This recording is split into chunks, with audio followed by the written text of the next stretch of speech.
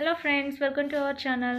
నేను ఒక new glass gas stove తీసుకున్నాను అనమాట ఇది ఏ కంపెనీ మోడల్ ఏంటి క్వాలిటీ ఎలా ఉంది దీని ప్రైస్ ఎంత అనేది కూడా మీతో షేర్ చేస్తాను. అంటే రివ్యూ చేస్తున్నాను. సో ఫస్ట్ వచ్చేసి ఇది ప్యాకింగ్ అనేది ఇలా ఉంది.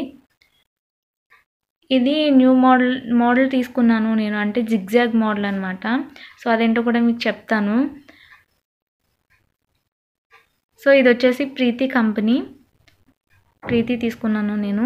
ఇదేంటి అంటే జిగ్జాగ్ మోడల్ ఏంటంటే ఫోర్ బర్నర్స్ యాక్చువల్గా టూ బ్యాక్ టూ ఫ్రంట్ వస్తున్నాయి కదా.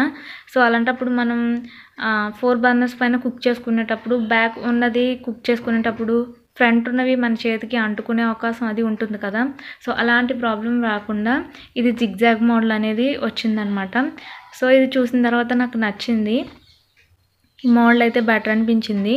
సో అందుకని చెప్పేసి తీసుకున్నాను నేను. ఏంటంటే మనకి కుకింగ్ డిస్టర్బెన్స్ లేకుండా ఉంటుందన్నమాట. చేతులు కాలకుండా నీట్గా ఉంటుంది. అలాగే ఇవి మనం ఆన్ ఆఫ్ చేసుకునే బటన్స్ కూడా ఇచ్చే విధానం నాకు బాగా నచ్చింది. సో మీరు కూడా చూడండి. ఒకవేళ మీకు నచ్చితే ఇలాంటిది తీసుకోవచ్చు.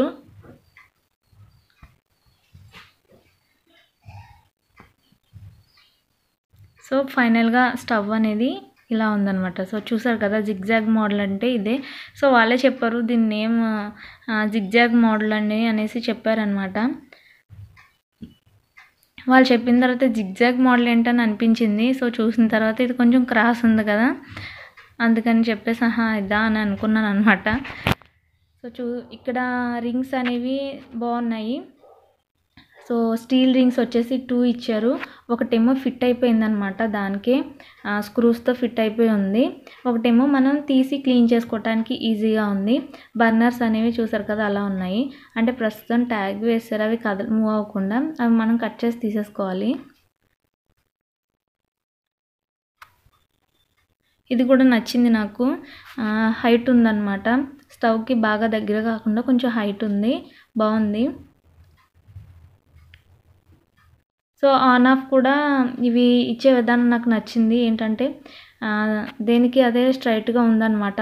కొన్ని కొన్ని స్టవ్స్ ఏంటంటే ఫోరు పక్క పక్కన ఇచ్చేయడం వల్ల ఏ ఏంటంటే ఏది దేనిది అనేది మనకి కన్ఫ్యూజ్ అయిపోతాం అనమాట కుకింగ్ చేసుకునేటప్పుడు. ఈ లోపు పొంగిపోవడం స్టవ్ మీద పోవడం సో ఇలాంటివి జరుగుతాయి. బట్ ఇది అలా కాదు. మనకి ఈజీగా ఏ స్టవ్కి దానికి ఎదురుగా ఉంది. సో ఏది అయినా ఈజీగా మనం ఆపరేట్ చేసుకోవచ్చు అనమాట ఇవి వచ్చేసి ఇలా ఉంది. తీసిన తర్వాత ఇక్కడ వాళ్ళు ఇచ్చేటప్పుడు ఏం చెప్పారంటే ఈ స్టవ్ పైన అంటే మనం గ్లాస్ ఉంటుంది కదా బ్లాక్ కలర్లో దానిపైన ఎలాంటి వెయిట్ కానీ బౌల్స్ కానీ ఇలాంటివి కూడా పెట్టకూడదు. ఓన్లీ బర్నర్స్ పైన పెట్టుకొని కుక్ చేసుకునేటప్పుడు పెట్టుకోవాలన్నమాట. సో సైడ్లు మాత్రం అసలు పెట్టొద్దని చెప్పారు. సో ఇవి హై ఫ్లేమ్లో ఫ్లేమ్ నార్మల్ మీడియం సో ఇలా ఫోర్ బర్నర్స్ అనమాట ఇది పెట్టుకునే విధానం కూడా బాగుంది. చూసారు కదా ఇక్కడ ఈ గ్రిప్ అనేది ఇలా జస్ట్ ఇలా సెట్ చేస్తే సెట్ అయిపోతుంది. సో టోటల్లీ ఇది. ఇక్కడ చూస్తే మీరు ఆన్ ఆఫ్ అనేవి చూడండి. దేనికి అదే స్ట్రైట్గా ఇచ్చేసారనమాట ఇక్కడ మేము టోటల్గా ఫిక్స్ చేసాము. సో ఇది ఫిక్సింగ్ అంతా కూడా నేను మీకు నెక్స్ట్ వీడియోలో చూపిస్తాను. తప్పకుండా చూడండి. సో ఇక్కడ నేను స్టవ్ అనేది ఆన్ చేస్తున్నాను. అంటే పైపు ఫిట్ చేయడం కానీ రెగ్యులేటర్ పెట్టడం కానీ అలాగే ఇక్కడ మనకి పైప్ మూవ్ అవ్వకుండా రింగ్స్ వస్తున్నాయి కదా అవి మొత్తం టోటల్గా ఎలా సెట్ చేసుకోవాలనేది మీకు నా నెక్స్ట్ వీడియోలో చూపిస్తాను. తప్పకుండా చూడండి ఓకేనా? సో ఇక్కడ ఫస్ట్ మనం ఆన్ చేసిన వెంటనే లైటర్తో వెలిగిస్తే వెలగలేదు అనమాట అంటే గ్యాస్ అందుకోవాలి కదా సో అందుకని ఫస్ట్ ఇది వెంటనే వెలగలేదు. అలాగే ఇక్కడ లో ఫ్లేమ్ది కూడా అనమాట సో మీకు ఫైర్ అనేది ఎలా వస్తుంది? దేని నుండి ఎలా వస్తుంది అనేది మీకు ఈజీగా కనిపిస్తుంది. అందుకని చెప్పేసి నేను ఆన్ చేసి చూపిస్తున్నాను. ఇది హై ఫ్లేమ్ అనమాట సో టోటల్గా స్టవ్ అనేది ఇలా ఉంది. చూసారు కదా ఇక్కడ మనం ఆన్ ఆఫ్ చేసుకునేది బాగుంది. నాకు ఈ విధానం చాలా బాగా నచ్చింది. మనకి కన్ఫ్యూజ్ ఉండదు అనమాట మెయిన్. సో ఇప్పుడు నేను త్రీ బర్నర్స్ కూడా ఆఫ్ చేశాను ఒకటి ఉంచాను. అంటే ఎలాగో ఆన్ చేశాను కాబట్టి దానిపైన మిల్క్ పెట్టాను అనమాట సో ఎలా ఉంది స్టవ్ అనేది నాకు కామెంట్లో చెప్పండి.